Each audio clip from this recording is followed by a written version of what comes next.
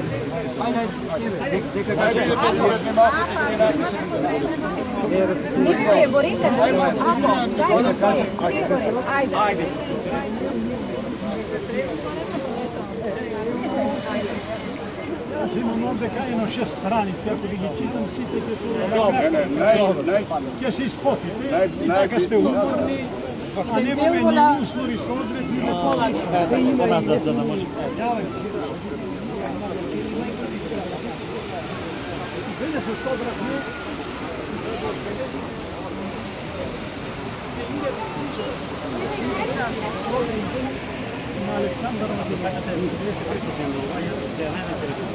Овој македонски великан, великан на сите слободолюбиви народи на светот, не остави неуништливата философија на космополитизма. Тоест на сближувањето на народите, митологиите, културите, боговите, религиите и така натаму, а во интерес на расовот и распространетоста на македонската и македонистичката цивилизација, која денес се, се јавува како субстрат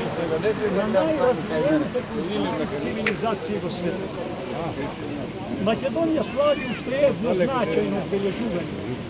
2371 годишнина од раѓањето на најславниот македонски цар Александар III Македонски, кој според Плутарх е роден во почетокот на месецот Хекатогерон, чие македонско име е Лоис, Ловос, шестиот ден, оно истиот, во кој бил запален грамот на Артемида Ефеска, е ако приближно се синхронизира стариот македонски календар со сегашниот, тогаш Александар Македонски е роден според едни на 20 јули, а според други на 22 јули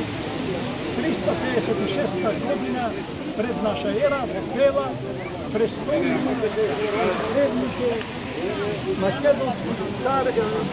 престолнина на древното македонско царство од 413 година пред наша ера, кога Архелај први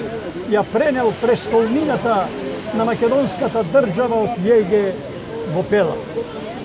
Александар трети Македонски е еден од најпопуларните личности на светската историја. Неговата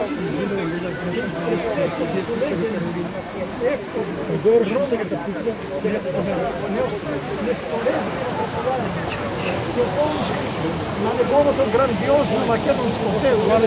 создавањето на најголемото царство во древноста,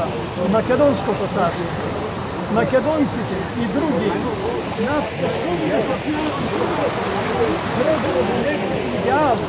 на човечка личност, а античките и подоснежните писатели гледале и гледаат во него исклучително голем државник и најголем војсководец на сите времиња, па затоа тој е присутен во литературите на повеќе од 80 народи на светот на огромен простор од Англија па се до Малајскиот полуостров, овој македонски великан и великан народи успеал да други народи, кој не, отошел, не отишел да поробува, не отишол да покорува, туку неговата идеја на синкретизмот била да се сближат, како што рековме, боговите, митологиите, народите, религиите и така натаму. za da se stigne od Tuka do Indija i da, os, da oformi jedno carstvo na tri kontinenti so teritorija od 3,8 milijona.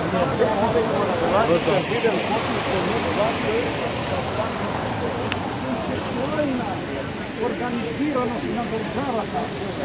koji su sobrao svojih 11 prijatelja, potom stanele generali.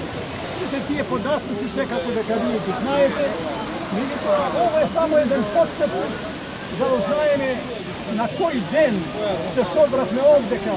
на овој голем споменик кој со големо задоцнување е изграден во центарот на Скопје и од чија сенка се плашат сите наши